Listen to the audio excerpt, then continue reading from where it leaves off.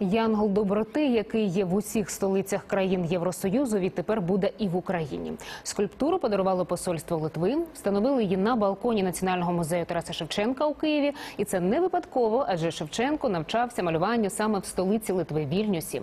За словами посла Литовської республіки Маріуса Януконіса, так Литва хоче підтримати українців в складний для них час і показати, що Україна поступово входить у євроспільноту.